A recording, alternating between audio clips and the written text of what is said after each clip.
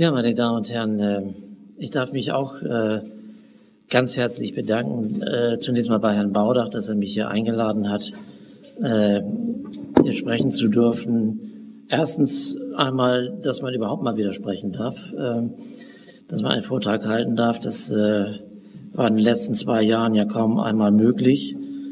Zweitens, dass es hier in diesem Rahmen geschieht, wo ich ja auch schon mehrfach gewesen bin, auch schon als Zuhörer, aber auch als Vortragender. Das ist immer ein sehr schöner Rahmen hier gewesen und äh, hat mir immer viel Spaß gemacht, hier zu sein. Und drittens schließlich auch, ähm, weil ich mal wieder über meine alte Freundin Amalia Schoppe äh, sprechen darf, die, äh, die mich schon 30 Jahre lang eigentlich begleitet, mal sehr intensiv, mal weniger.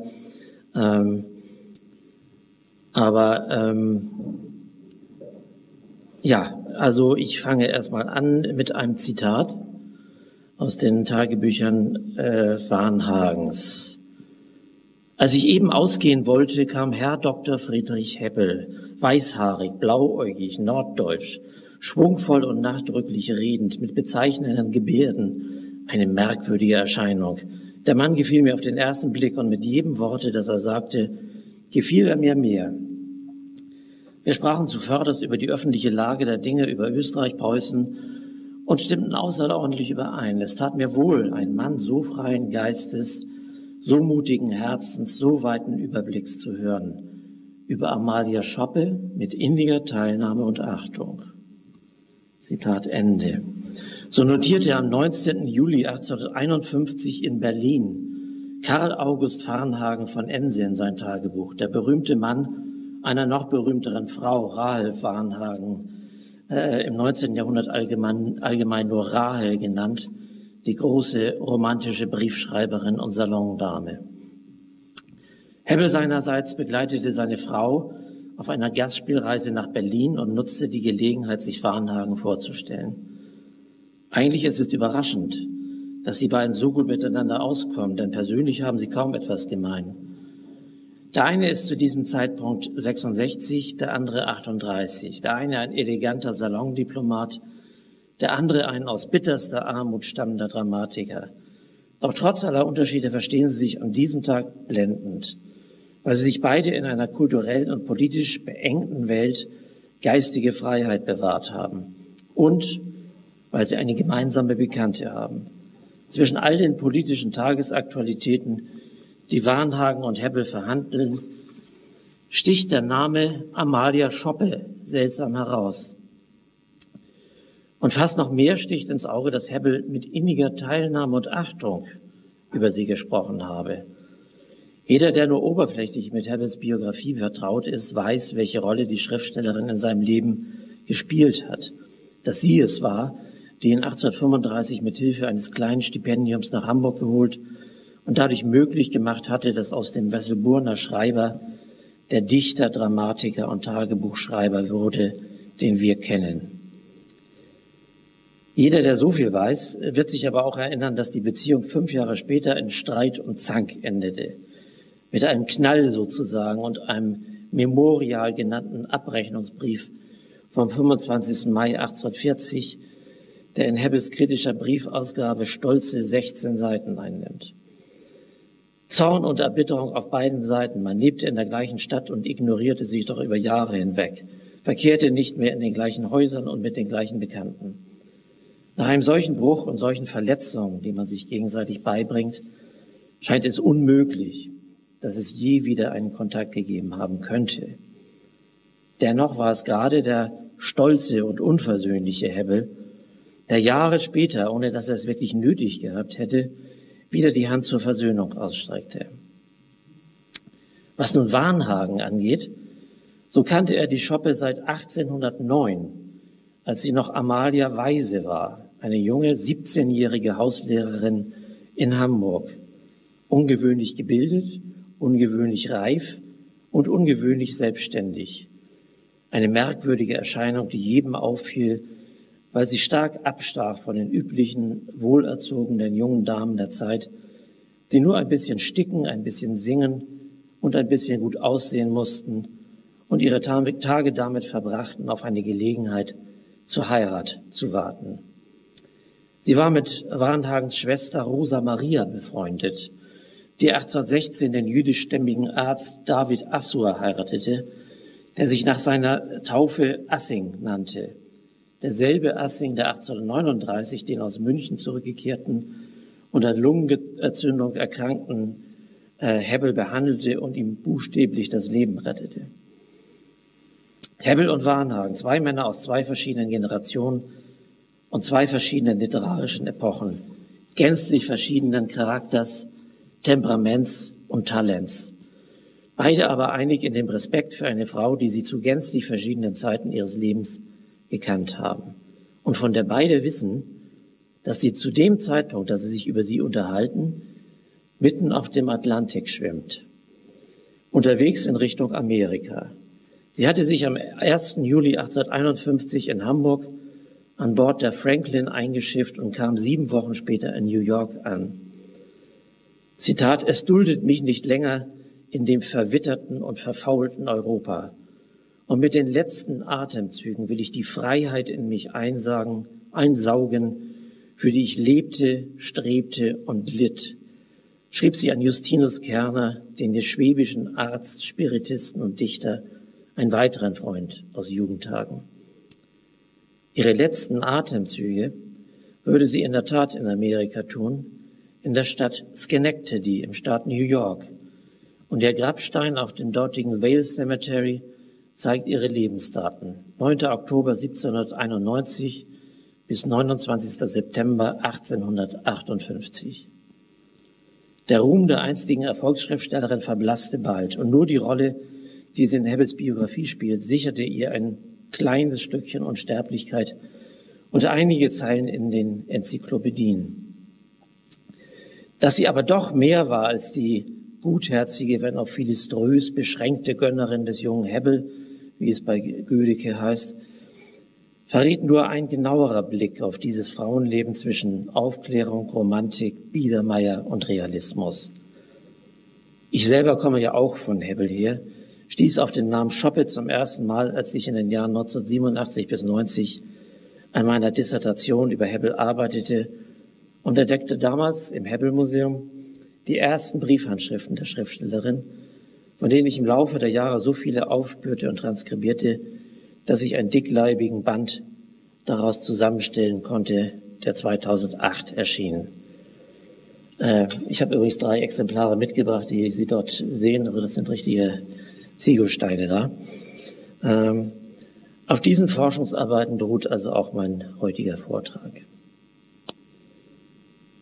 Das Leben der Amalia Schoppe war, innerlich wie äußerlich, ein ständiges Schwanken zwischen den Extremen, zwischen Armut und Reichtum, zwischen behütet sein und Unbehaustheit, zwischen der Sehnsucht nach Liebe und Freundschaft und der völligen Enttäuschung solcher Hoffnungen, zwischen philiströser Bürgerlichkeit und existenzieller Heimatlosigkeit, zwischen nüchternem Rationalismus und ausschweifender Empfindsamkeit, zwischen ungeheurer Willenskraft und völliger Verzagtheit, zwischen skriptomaner Arbeitswut und resignativer Selbstkritik, zwischen Auflehnung gegen und Anpassung an die Grenzen, die einer Frauenexistenz im 19. Jahrhundert gesetzt war. Im Ganzen eine ständige Gratwanderung auf einem sehr schmalen Pfad und nicht ohne Abstürze in die eine oder andere Richtung. Nach ihrem Tod schreibt Ottilie Assing, Tochter der lebenslangen Freunde Rosa Maria und David Assing, einen Nachruf der von warmherziger, beinahe schon kindlicher Sympathie gekennzeichnet ist und ihren Charakter vielleicht am besten umschreibt. Allerdings auch erklärt, warum sie in den Urteilen der Zeitgenossen bewundert viel und viel gescholten wird, um mit Goethes Faust zu sprechen. Zitat, Ihr ganzes Wesen war gleichsam in großen, weiten Umrissen angelegt. Und alles in ihr war unmittelbar, frisch und ursprünglich. Güte und Wohlwollen waren hervorstechende Züge in ihr, und zwar eine tätige, ausdauernde und aufopfernde Güte, welche sie vor keiner Anstrengung, Anstrengung zurückschrecken ließ, wenn es in ihrer Macht stand, anderen hilfreich zu sein. Obgleich einzig auf sich selbst angewiesen und mitunter im Kampf mit den Verhältnissen begriffen, gelang es ihr öfters, denen, an welchen sie Interesse nahm, durch Rat und tätigen Beistand entscheidende Dienste zu leisten. Ihr praktischer Sinn, ihre Umsicht und Energie ließen sie in vielen schwierigen Fällen Rat und Hilfe finden und Menschen aus allen Klassen der Gesellschaft nahmen häufig Zuflucht zu ihr. Gut, arglos und vertrauensvoll wie sie war, außerdem von der Natur zum Enthusiasmus geneigt und leicht gewonnen, ist es kein Wunder, dass ihre Güte häufig genug missbraucht und mit Undank belohnt wurde und dass sie mitunter in Misshelligkeit mit Menschen geriet, welchen sie die größte Hinwendung bewiesen hatte. Von feindlich Gesinnten wurde ihr dies häufig als Unbeständigkeit und Charakterlosigkeit ausgelegt. Jedoch sehr mit Unrecht. Denn allen echten Freunden, die ihrer Liebe würdig waren, bewahrte sie durchs ganze Leben eine warme, unwandelbare Zuneigung. Und in jenen Fällen, wo später Zerwürfnisse eintraten, waren sie gewöhnlich nur die natürlichen, unvermeidlichen Folgen zu rasch gefassten Vertrauens. Soweit dieses Zitat. Hebbel hatte, nachdem, er einige, nachdem einige Jahre vergangen waren, wohl auch kein ganz reines Gewissen ihr gegenüber, so dass er ihr 1848 einen Versöhnungsbrief schrieb und sie im Sommer 1850 persönlich in Hamburg besuchte. Wie immer sei sie gewesen, notierte er knapp in sein Tagebuch, worunter man sich nichts oder alles denken kann. Im selben Sommer war übrigens auch Warnhagen in Hamburg. Die beiden Männer hätten sich also schon damals äh, dort begegnen können. Warnhagen lief in Sturm und Regen den weiten Weg zu Amalia Schoppe auf dem Stadtdeich und fand sie in edler Gesinnung und segensvoller Tätigkeit, wie er an Kerner schrieb. So viel zum allgemeinen Charakterbild Amalia Schoppes. Im Folgenden soll ein kurzer Überblick über ihr Leben versucht werden, ohne auf allzu viele Abwege zu geraten, was bei der Reichhaltigkeit des zur Verfügung stehenden Materials allerdings schwer durchzuhalten sein wird.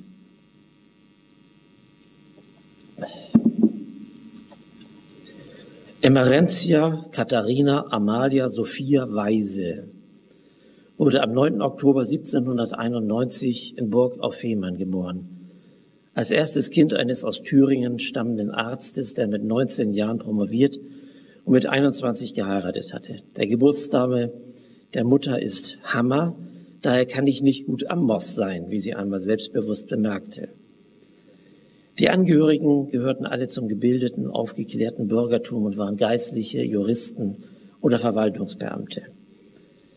Der Vater war die zentrale Figur ihres, ihrer frühen Kindheit, die erste und vielleicht größte Liebe ihres Lebens.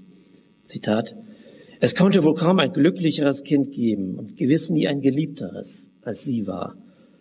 Auf alle Weise durfte sie sich regen und bewegen und wie es ihr vergönnt ward, ohne Furcht wegen eines zerrissenen oder beschmutzten Kleides, die kleinen Glieder im Springen und Klettern zu üben, so durfte sie auch frei die geistigen Fühlhörner ausstrecken und jede Frage wurde ihr mit Liebe von dem herrlichen Vater beantwortet. Immer war dieser bemüht, sie zu belehren, zu erfreuen. Aber war ihr leibliches wie ihr geistiges Gedeihen außerordentlich. Alle ihre Kräfte wurden gleichmäßig geübt. Sie durfte auf den Baum so hoch hinaufklettern, als sie es vermochte. Sie übte unter der Aufsicht des Vaters sich im Schwimmen im Meere.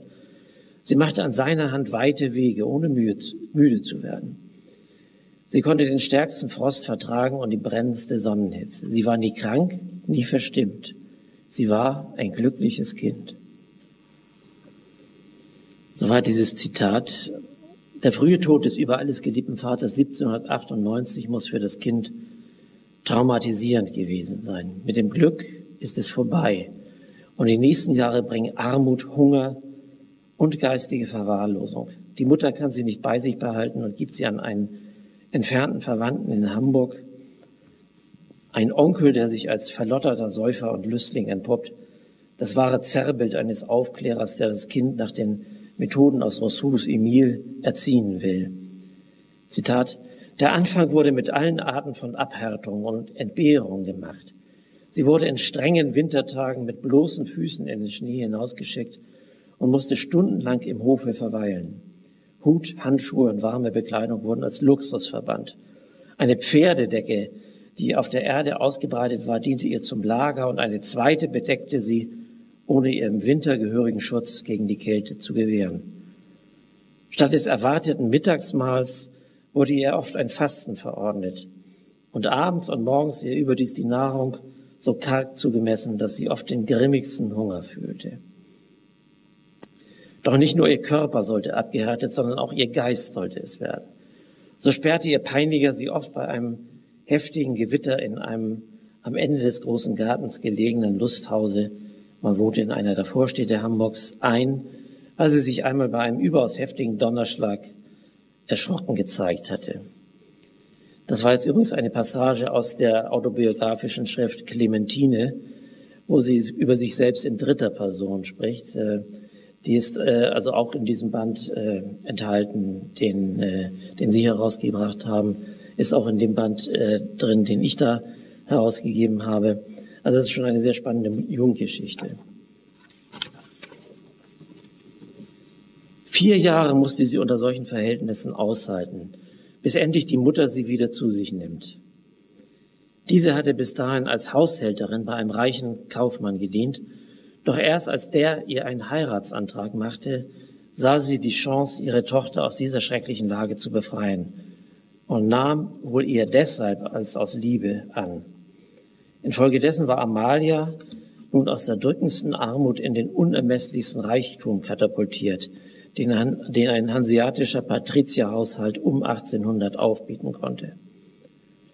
Sie hat es der Mutter nicht gedankt, für sie war diese zweite Heirat ein Verrat am überschwänglich verehrten Vater und, das, und sie weigerte sich hartnäckig, den Stiefvater mit Vater anzureden. Die Leidenszeit bei dem Onkel hatte sie frühzeitig erwachsen gemacht und statt sie zu zerbrechen, ihr Selbstbewusstsein nur umso mehr gestärkt. Das zeigte sich, als nach wenigen Jahren des Wohllebens der Stiefvater verarmte es war das Jahr 1806. Hamburg wurde von den Franzosen besetzt und in das System der napoleonischen Kontinentalsperre eingegliedert. Für eine Handelsstadt, die traditionell mit England verbunden war, eine Katastrophe. Ohne jemanden zu fragen, besorgte sich die eben 15-jährige Amalia eine Stelle als Hauslehrerin und erklärte den bestürzten Eltern, sie werde von nun an für sich selbst sorgen. Und sie konnte es. Einige Zeit vor der finanziellen Katastrophe des Stiefvaters, noch nicht ganz 14 Jahre alt, lernte sie ihren späteren Ehemann kennen, den vier Jahre, vier Jahre älteren Friedrich Heinrich Schuppe. Erst nach ihrer Heirat äh, wurde der Name Schoppe geändert und wurde bald mehr irritiert als geschmeichelt gewahr, dass der junge Mann in hellen Flammen für sie brannte. Nachdem die Familie verarmt war, wurde sein Werben sogar noch eifriger fordernder und aggressiver, denn nun war er nicht mehr dem Verdacht ausgesetzt, nur eine gute Partie machen zu wollen. Sie gab schließlich seinem massiven Drängen nach und verlobte sich heimlich mit ihm. Eine Verbindung, die nach damaligem Verständnis und ihrem eigenen protestantischen Pflichtethos genauso fest und unlösbar war wie eine wirkliche Ehe, so dass sie sich selbst dann, als sie sich einige Jahre später ernsthaft verliebte, in wen hat sie pietätvoll verschwiegen, diese Liebe glaubte unterdrücken zu müssen zugunsten einer Verbindung, die sie selbst immer nur als ein Unglück bezeichnet hat. Es fällt schwer, sich in eine Zeit und eine Moral hineinzuversetzen, äh, die ein junges Mädchen zwingt, sehenden Auges in ihr Verderben zu rennen. Aber es war eben die Moral einer Männerwelt, die es den Frauen unmöglich machte, eine selbstständige Entscheidung zu treffen. Umso mehr, wenn sie, wenn sie diese Moral schon völlig verinnerlicht hatten und sich gleichsam gezwungen sahen, den richtigen, der richtigen Gesinnung wegen das Falsche zu tun. Dass einer unter solchen Auspizien geschlossenen Ehe kein Glück beschieden war, auch wenn ihr drei Söhne entsprangen, kann man sich leicht vorstellen. Wir können eine lange, schmerzhafte Ehegeschichte kurz fassen, wenn wir aus einem späteren Brief Amalias zitieren. Die Kriegsjahre 1813, 14 raubten mir den Gatten, der mit meiner Bewilligung in den Befreiungskrieg zog. Ich musste mit dem eben geborenen Karl flüchten, da der Gatte am französischen Gerichtshofe eine angesehene Stelle bekleidet hatte und jetzt als Feind den Franzosen gegenüberstand. Meine Heimat, also Fehmarn, nahm mich, die Mutter, den Halbbruder und Mariannes Schwester auf. Ich ernährte alle durch Unterricht geben. Erst 1817 konnte der Gatte, dessen Leib den Gefahren entronnen war, mich und sein Kind zurückrufen. Das wilde Kriegsleben hatte mir aber seine Seele entfremdet und ich erkannte ihn nicht wieder. Schrecklich war der Kampf, den der Unglückliche, gegen die ihm angebildeten Laster kämpfte. Seine Reue, seine Selbstverachtung, das Furchtbarste, was ich erlebt habe. Ein feiles Geschöpf gewann endlich sein Herz gänzlich. Er verließ mich und unsere drei Kinder, die ich jetzt vom Ertrage meiner Schriften ernährte. Später konnte ich ihn noch unterstützen, als er mich um Hilfe bat. Er hat trotz seiner Verehrungen nie aufgehört, mich zu lieben, zu achten. Seine Buhlerin musste sogar seltsam genug meinen Vornamen annehmen. An seinem 40. Geburtstag, dem 7. Juli 1829, ging er heiter und glücklich zur, El zur Elbe, um, was er im Sommer täglich tat, zu baden. Und vor den Augen des Knaben, der seine Kleidung am Ufer bewachte, erfasste ihn ein Krampf und zog ihn in die Tiefe hinab, die ihn nie wieder gab. Seine Mätresse brachte mir die Todesbotschaft. Er hatte ihr an diesem Tage, der zugleich auch der Geburtstag meines verewigten Karls, also ihres Sohnes war, ein Fest veranstaltet. War es die Nemesis, die sich ihres Opfers bemächtigt hatte? Soweit dieses Zitat.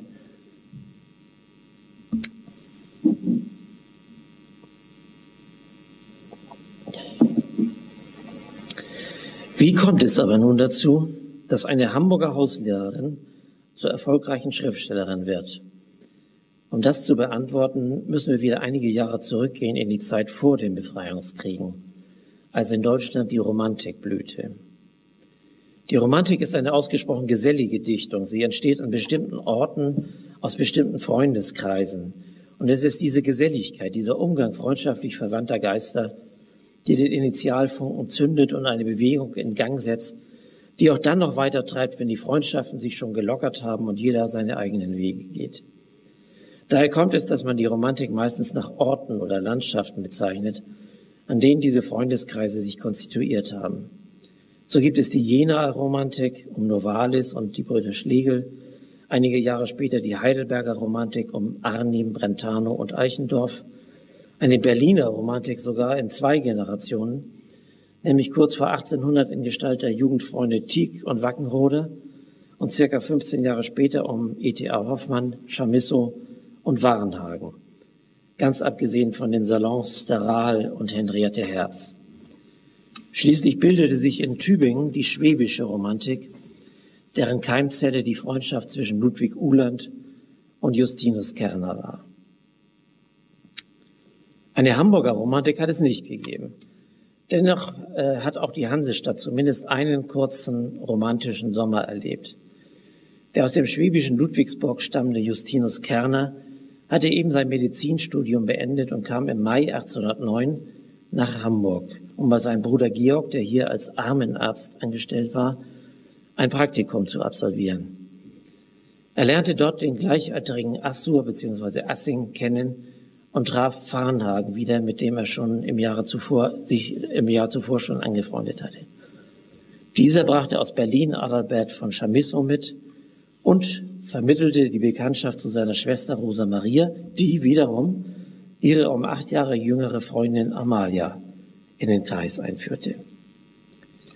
Man kann sich leicht vorstellen, wie ein solcher Umgang auf Amalia wirkte. Sie bezeichnete es später als unaussprechliches Glück, das größte, welches ihr im Leben zuteil geworden ist. Sie war Mitglied einer Gruppe junger Menschen, die sich als poetische Widerstandsgruppe gegen eine trostlos prosaische Zeit verstand und in der es die üblichen gesellschaftlichen Barrieren zwischen Stand, Religion, Herkunft und Geschlecht nicht geben sollte. Man liebte, man hob, man trug, man beförderte einander. Man ließ auch nicht das kleinste poetische Blümchen unbeachtet am Wege stehen und flocht alles in den schönen farbigen Kranz, den man zu bewinden bemüht war, um die abgestandene Prosa der damaligen Zeit damit zu verdecken. Amalia war aber nicht nur die Empfangene in diesem Kreis. Sie hatte auch selbst etwas zu geben und mehr als ihr vermutlich bewusst war. Die damals 17-Jährige musste in ihrer ungewöhnlichen inneren wie äußeren Unabhängigkeit eine faszinierende Erscheinung gewesen sein, insbesondere für den allen geheimnisvollen, aufgeschlossenen Kerner. Das Wundermädchen nennt er sie in seinen Briefen an den daheimgebliebenen Uland. Zitat, es ist das wunderbarste Wesen, so ich je sah. Sie spricht über Musik, Poesie, Malerei wie ein Gott. Ich kann mir sie nie ohne Novalis denken. Und ganz ernsthaft macht der Uland den Vorschlag, ich bitte dich doch, die Rosa oder die Amalia zu heiraten. Soll ich nicht schreiben, dass die eine oder andere sich in Tübingen deswegen einfinden soll? Kerner selbst war schon seit langem mit seiner späteren Ehefrau Friederike das Rickele, wie sie dann als Gastgeberin des Weinsberger Dichterhauses allgemein genannt wurde, verlobt. Aber auch Ulan mochte sich auf eine solche arrangierte Ehe nicht einlassen. Schließlich wurde Amalia sogar zur poetischen Figur.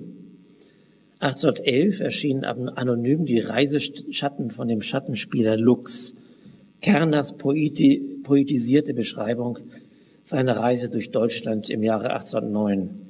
Sicherlich sein bestes Werk und wohl auch das letzte große Romanexperiment der Romantik. Dort auf einem Schiff, das den Neckarstrom abwärts fährt, treffen wir sie überraschend wieder. Zitat, unter den Mädchen aber war eines, welches mir wegen seiner fremden Mundart und eigenen Wesens bald auffiel. Es schien kein Landmädchen zu sein wie die anderen. Es war blau gekleidet und hatte ein schwarzes Band um das lange goldene Haar und die hohe Stirne und war, wie ich nachher erfuhr, von einer Insel der Nordsee, das verwechselt er hier, kam mir auch nicht anders vor als wie eine Meerfrau. So ungewöhnliche Art war es. Die Identität dieses Mädchens mit Amalia hat Kerner selbst in einem Brief an Uland bestätigt. Das Wundermädchen hat nun einige Auftritte, in denen sie unter anderem eine poetische Beschreibung des Meeres liefert, für die Kerner teilweise eine Passage aus einem von Amalias Briefen nutzte. Verschwindet dann wieder aus der Handlung und taucht erst am Ende des Buches wieder auf, um dann völlig ins mythisch Überhöhte hinauszuwachsen. In einem verwunschenen Garten in Nürnberg, der eigentlich in Hamburg gewesen war, wird sie zu einer Art Mischung aus antiker Seherin und deutscher Nixe. In einem der Laubgänge setzten wir uns nieder. Da hat das fremde Mädchen mir den Sterbetag all meiner Freunde gesagt, sowie den Tag, an dem der oder jener geboren und meinen Sterbetag. Schont meiner, sprach ich, indem ich sie freundlich anblickte. Da umschlang sie mich mit einem Arme mit der Hand des anderen aber fuhr sie mir dreimal sanft über die Augen her. Die schlossen sich alsbald wie zum magnetischen Schlafe. Also so eine Art Hypnose ist gemeint. Als ich die Augen bald wieder mit Gewalt aufschlug, da sah ich das Mädchen nicht mehr und rief ihr auch vergebens durch den weiten Garten zu. Die Nacht war da, ich stand allein in dem verlassenen Garten. Schauer ergriff mich und eilend sprang ich durch die dunklen Laubgänge aus dem Garten ins Freie. Ein zahlloses Heer von Sternen ging durch den Himmel und ich fühlte mich nicht mehr allein. Ich dachte dem fremden Mädchen nach und der Worte, die sie zu mir gesprochen, und so furchtbar sie auch war, so fing ich doch an, ein stilles Sehnen nach ihr zu fühlen. Bald nach Fertigstellung der Reiseschatten plante Kerner einen lyrischen Almanach, in dem der Freundeskreis, auch wenn er inzwischen räumlich getrennt war, noch einmal zwischen zwei Buchdeckeln versammelt werden sollte. Uland übernahm einen Teil der redaktionellen Arbeit und nachdem man einige allzu blumige Titel verworfen hatte, nannte man das Ganze recht nüchtern Poetischer Almanach für das Jahr 1812. Unter den Beiträgern waren neben einer Reihe heute völlig unbekannter Namen Chamisso, Fouquet, Hebel, Karl Mayer, Gustav Schwab, Warenhagen und natürlich die beiden Herausgeber. Auch die Hamburger Freundinnen Rosa Maria und Amalia wurden aufgenommen, letztere sogar mit vier Gedichten. Die romantische Poetik war im Gegensatz zu der der Weimarer Klassiker ausgesprochen demokratisch. Während Goethe und Schiller an einer immer diffizileren, elaborierteren Ästhetik feilten und den Dilettanten in ihrem Briefwechsel geradezu zum Feindbild erklärt hatten, um die Kunst zu einem Arkanum zu machen, das nur den wenigen Berufenen zugänglich war, verstanden die Romantiker die Poesie als eine Kraft, die im Grunde jedem innewohnte und nur durch das richtige Zauberwort befreit werden muss. Ich glaube, schreibt dann auch Uland, dass unser Almanach zum Beweise dienen könnte, dass die Poesie nicht bloß gewissen großen Namen und kunstfertigen Leuten in Deutschland als Monopol angehört, sondern dass sie eine Gottesgabe ist, die in gar manchen deutschen Herzen wohnt, nur dass nicht jeder ein Gewerbe daraus macht. In diesem Sinne hält er es auch mit redaktionellen Eingriffen. Zitat, Amaliens Sprache und Sänger werden dem Almanach wohl anstehen. Der erste, das erste ist durch den ersten Vers etwas unklar, wohl nicht durch Sinn und Gefühl, aber durch die Worte. Doch würde ich nichts verändern, auch nicht einmal einige Härten, die sich leicht ändern ließen. Es blieb den praktischer veranlagten Warnhagen überlassen, die enthusiastischen Herausgeber auf gewisse objektive Notwendigkeiten und gesellschaftliche Hemmschwellen hinzuweisen, über die auch der freieste romantische Geist nicht hinwegsehen konnte. Zitat, Lass mich dir eines sagen, geliebter Freund. Setze nicht ihren, also Amalias, vollen Namen unter ihre Beiträge in dein Taschenbuch, obgleich sie es zu wollen scheint. Schone sie, denn kein Mädchen, das abhängig leben muss, wird darüber ohne Reue bleiben. Die Welt ist dumm und das Dumme regiert in Gestalt des Reichtums und des Ansehens. Das liebe Kind möge doch keine bittere Regung empfinden wegen dieser Schmerzens und Sehnsuchtsblüten. Zweifellos spielt Warnhagen auf den Hamburger Geldadel an, in dessen Kreisen Amalia sich als Hauslehrerin verdingen musste und der auf poetische Herzensergüsse nur mit Spott und Unverständnis reagiert hätte. Im poetischen Almanach sind ihre Gedichte denn auch nur mit Amalia unterzeichnet. Amalia selbst hat später gesagt, dass ihr diese ersten Veröffentlichungen im Umkreis der schwäbischen Romantik, Zitat, eine unendliche und eine weit größere Freude gewährten, als alle die zahllosen Bände zusammen, die sie nachher von einer fast quälenden Produktivität getrieben schrieb und ins Publikum schickte. Der romantische Sommer 1809 hatte sie in die Literatur eingeführt, aber es sollte noch Jahre dauern, ehe aus dieser Zufallsbekanntschaft eine feste Verbindung und aus der Gelegenheitsdichterin eine Berufsschriftstellerin geworden war.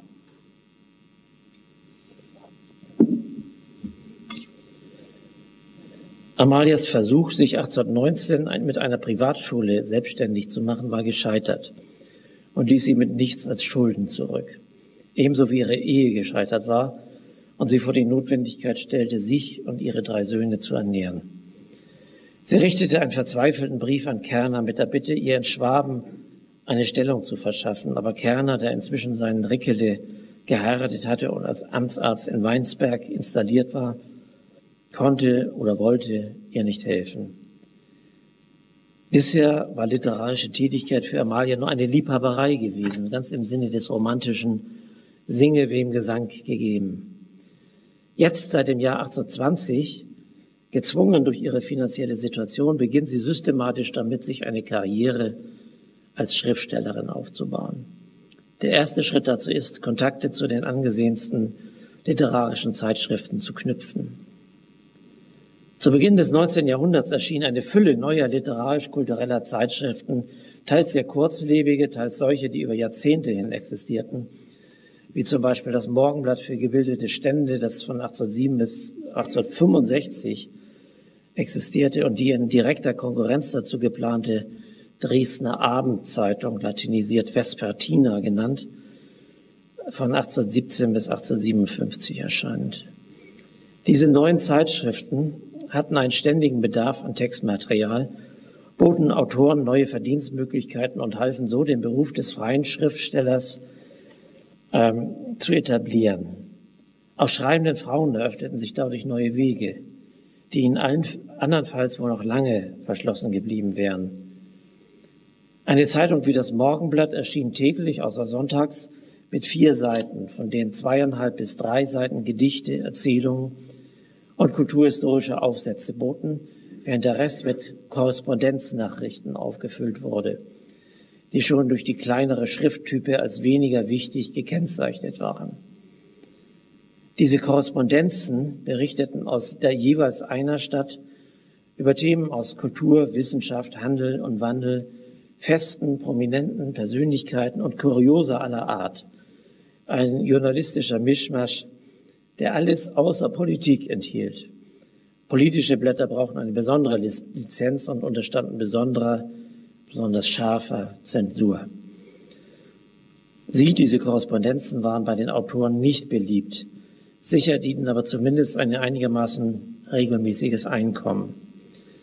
Auch Amalia begann mit solchen Korrespondenzen, war aber im Laufe der Zeit bemüht, davon abzukommen. Denn erstens war es mehr eine kompilatorische Fleißarbeit als literarische Tätigkeit. Zweitens war journalistisches Arbeiten unter den Bedingungen einer strikten Zensur kein Vergnügen. Und drittens war es nicht so gut bezahlt wie belletristische Beiträge. So arbeitete sie sich dann allmählich hoch zu längeren Erzählungen in Zeitschriften, Almanachen und Taschenbüchern bis hin zu selbstständigen Buchpublikationen. 1823 erschien die erste Jugendschrift, 1824 der erste Roman. Zitat aus einem Brief. Bald, meine Teure, hoffe ich, mich von den Korrespondenzarbeiten ganz frei gemacht zu haben. Sie ekeln mich an, aber noch muss ich das Joch tragen. Wenn mein Roman Glück macht, schreibe ich nichts anderes mehr. Ein Dutzend liegen schon in meinem Kopfe fertig. Ein zweiter in zwei Teilen ist bis auf wenige Bogen auch schon geschrieben. Und ein dritter drängt und treibt mich so, dass ich fast nicht davor schlafen kann. Damit beginnt eine unaufhörliche literarische Tätigkeit, die über das nächste Vierteljahrhundert hinweg Buch um Buch hervorbringt.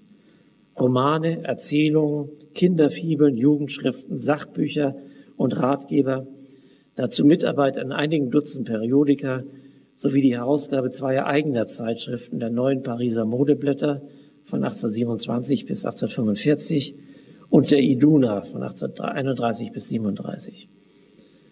Und bald konnte sie mit berechtigtem Stolz darauf verweisen, ihre Familie allein mit dem Ertrag ihrer Schriften zu ernähren.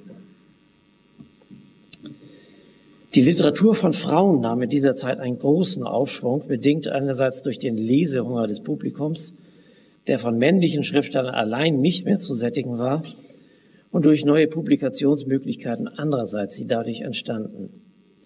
Und da weibliche Leser ihre Lektürebedürfnisse eher durch Schriftstellerinnen befriedigt sahen, konnten diese nun auch freier auftreten. Die Autorinnen des späten 18. und frühen 19. Jahrhunderts wie Sophie von La Roche, Dorothea Schlegel oder Benedikte Naubert hatten noch weitgehend pseudonym oder anonym veröffentlicht und waren oft auf die Protektion männlicher Kollegen angewiesen.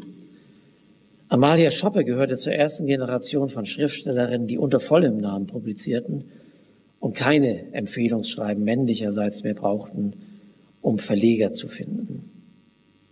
Andererseits war und blieb die Frauenschriftstellerin, das Schriftstellerei das ganze 19. Jahrhundert hindurch eine Art Ghetto ein Bereich der Literatur, der von vornherein als minderwertig betrachtet wurde und in dem die Gesetze der Ästhetik und Kritik nur eingeschränkt galten.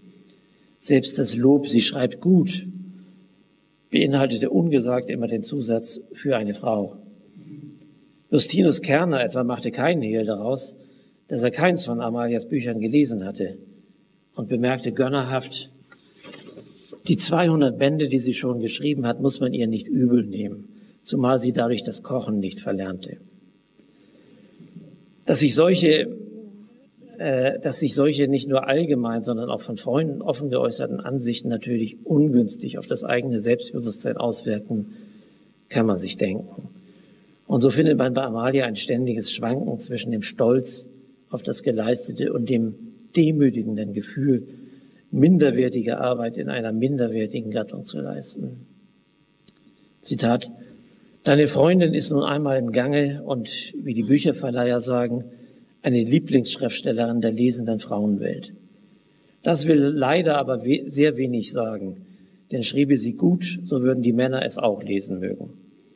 Aber es wird ja so viel Papier mit Tinte und Druckschwärze beschmutzt, Warum sollte ich denn nicht die Vorteile genießen, die mir die Gunst der Lesewelt gewährt? Und die, Kinder, und die Kinder müssen doch auch Brot haben.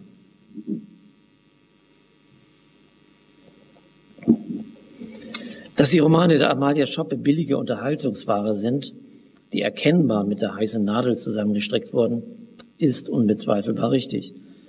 Liest man dagegen ihre deutlich besser geschriebenen Briefe und dann fragt man sich, warum sie die Fähigkeiten, die sie hier zeigt, nicht auch in ihren Büchern einzusetzen vermochte. Warum also Wollen und Können so deutlich auseinanderklafft. Die Antwort liegt wohl in den Zwängen, die der Frauenschriftstellerin auferlegt waren, nicht nur dem Zwang unterhaltsam, sondern auch dem, wie eine Frau schreiben zu müssen. Sie versuchte dieser Falle zu entkommen, indem sie gelegentlich unter männlichen Pseudonymen veröffentlichte und amüsierte sich dann köstlich, wenn sie als Mann gelobt wurde.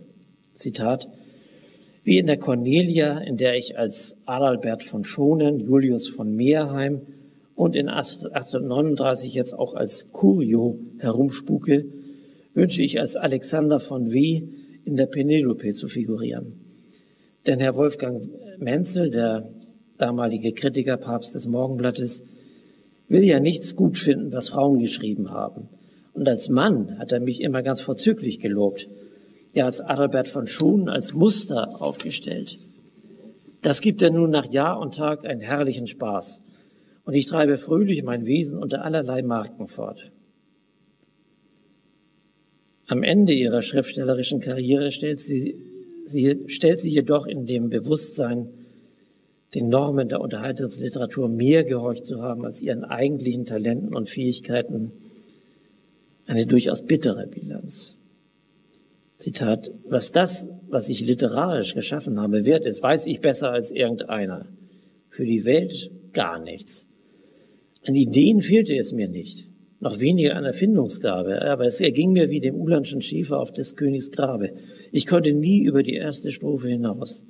Es ist dieser Mangel so tief in meinem innersten Wesen, in meiner unüberwindlichen Schüchternheit begründet, dass ich, wenn ich das Beste und Gescheiteste denke, es doch aus Furcht nicht niederzuschreiben wage, dass es Abgeschmacktheiten sein könnten.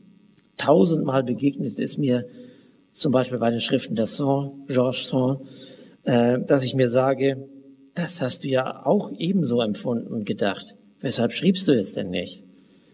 So habe ich das seltsame Schicksal erleben müssen, bei einer seltenen Kraft der Fantasie und Erfindungsgabe und einem sehr gereiften kritischen Verstande, außerdem in Besitz aller technischen Mittel und voll Sinn für die wirklichen Schönheiten anderer Autoren, für den lesenden Plebs zu schreiben.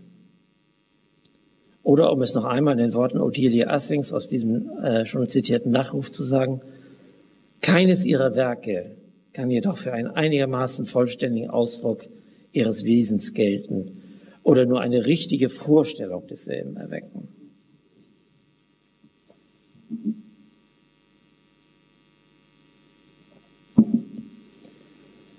Zu Beginn der 1840er Jahre häuften sich in Amalias Leben die Schicksalsschläge.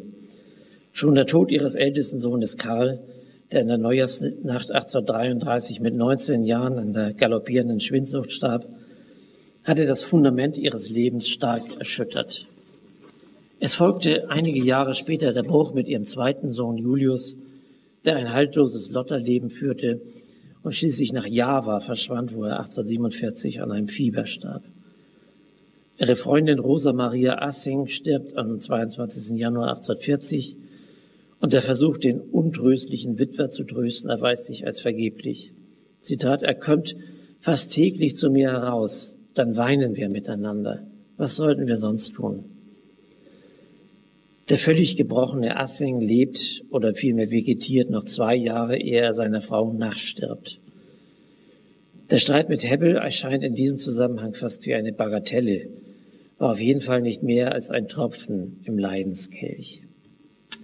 Der Umzug nach Jena im April 1842, wenige Wochen vor dem großen Hamburger Brand, war denn auch mehr eine Flucht vor den Problemen in Hamburg. Zunächst ergeht es ihr sehr gut. Sie wohnt im Hause Luise von Knebels, der Witwe von Goethes Urfreund Karl Ludwig von Knebel, hat Umgang mit Schillers Schwägerin Caroline von Wolzogen und mit den Professoren der Jenaer Universität. Und ihr Drama Donatin wird 1844 am Weimarer Hoftheater aufgeführt. Doch dem Unglück kann man nicht davonlaufen. 1843 sterben kurz nacheinander ihre Mutter und ihre engste Freundin, die Schriftstellerin Lina Reinhardt, beide von ihr bis zum Ende gepflegt. Dann kommt 1844 die Nachricht, dass ihr, ihr jüngster Sohn Alfons in Hamburg wegen Unterschlagungen verhaftet wurde. Der Sohn einer der bekanntesten Jugendschriftstellerinnen Deutschlands, ein Verbrecher. Die Nachricht geht durch alle Zeitungen und erreicht auf diese Weise sogar Hebbel in Paris.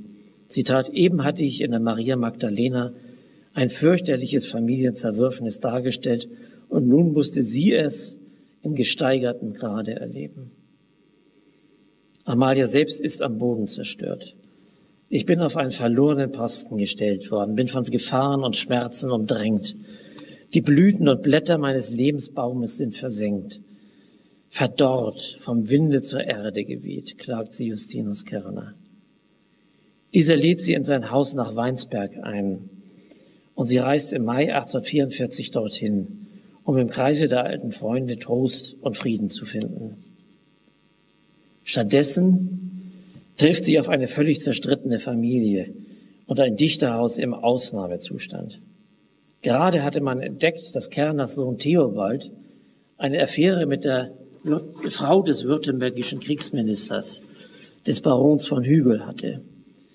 Diese Marie von Hügel war ein bevorzugtes Mitglied des Weinsberger Kreises gewesen und dort unter dem Kosenamen das Wickelkind bekannt, was sie aber offensichtlich nicht mehr war. Seine Schwiegersöhne bestürmten Kerner, die beiden Sünder zu verstoßen. Anscheinend fürchteten sie um Kerners Einfluss am württembergischen Hof. Und wie es in solchen Fällen immer, äh, immer ist, fühlten sich auch noch viele andere aus Kerners weitläufigen Freundes- und Bekanntenkreis berufen, Salz in die Wunden zu streuen, so dass das sonst in ganz Deutschland für seine idyllische schwäbische Gastlichkeit und Gemütlichkeit berühmte Kernerhaus momentan eher einem Wespennest glich. Man sollte meinen, dass die innerlich erschöpfte Amalia dieses Haus der Zwietracht sofort geflohen wäre. Aber anscheinend waren die Probleme anderer genau das Mittel, das sie brauchte, um die eigenen zu vergessen.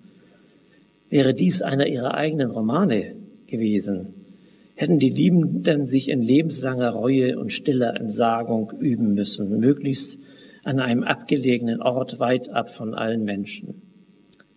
In der Realität ging sie aber sehr viel pragmatischer vor. Zitat. Mein Aufenthalt zu Weinsberg wurde besonders dadurch zum äh, Segen für uns alle, dass es mir gelang, Frieden zwischen Theobald, seiner Geliebten, der Frau von Hügel, und seinen Geschwistern zu stiften, zu welchem Zwecke ich von Weinsberg aus mehrere Reisen machen musste. Ich fand alles in der heillosesten Verwirrung und sowohl Eltern als Kinder völlig ratlos und so gegeneinander aufgebracht, dass die Verwirrung nicht zu lösen schien. Trotzdem glückte mir das und alle erfreuen sich jetzt der schönsten Ruhe und eines würdigen Glücks. Man nennt mich dort die Herzensdiplomatin, ein Titel, der mir Freude macht. Justinus Kerner war damals vor allem durch zwei Dinge deutschlandweit bekannt. Zum einen durch die wirklich einzigartige Gastfreiheit seines Hauses, das fast allen Dichtern und Intellektuellen dieser Zeit wenigstens einmal Quartier gewährt hat zum anderen durch die okkultistischen Forschungen des Hausherrn, der sich mit magnetischen Kuren, Tischrücken und der Geisterwelt im Allgemeinen beschäftigte und 1829 mit der Seherin von Prevorst eines der frühen Hauptwerke der Parapsychologie veröffentlicht hatte. Amalia, andere, Amalia andererseits hatte in ihrer Jugend zwar auch das romantische Interesse an den Nachtseiten der Natur geteilt, war aber im Kern durch aufgeklärte Rationalistin und allen Spielarten des Mystizismus abhold, was ihr den Aufenthalt in Weinsberg dann auch etwas verleidete. Zitat, er, Kerner, wollte, ich sollte für immer bei ihm bleiben.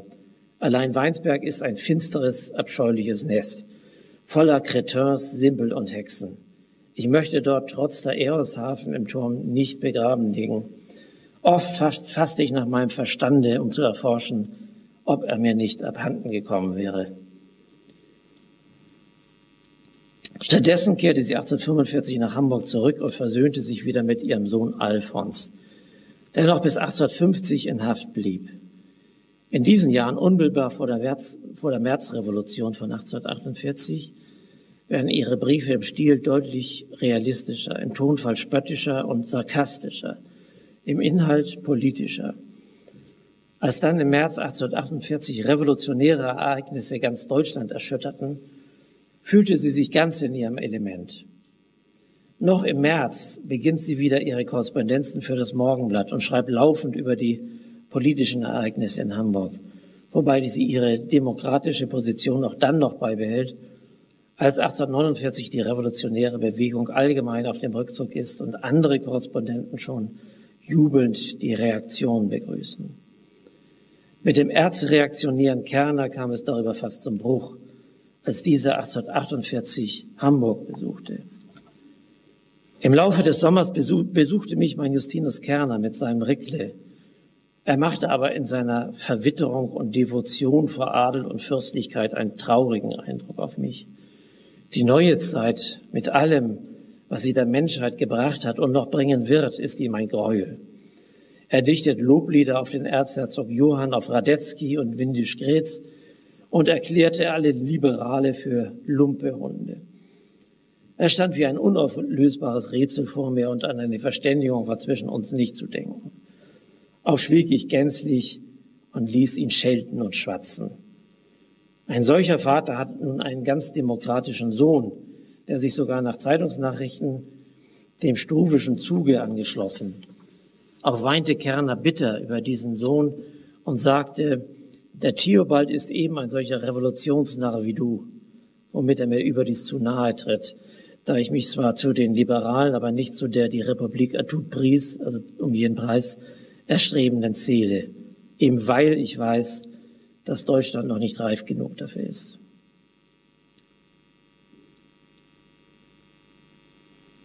In früheren Zeiten hatte sich manchmal gewünscht, den Weiberrock, den Weiberrock abzulegen und la Christine von Schweden mit Sporen und Reitgerte einherzutraben, um mit diesem und jenem anzubinden.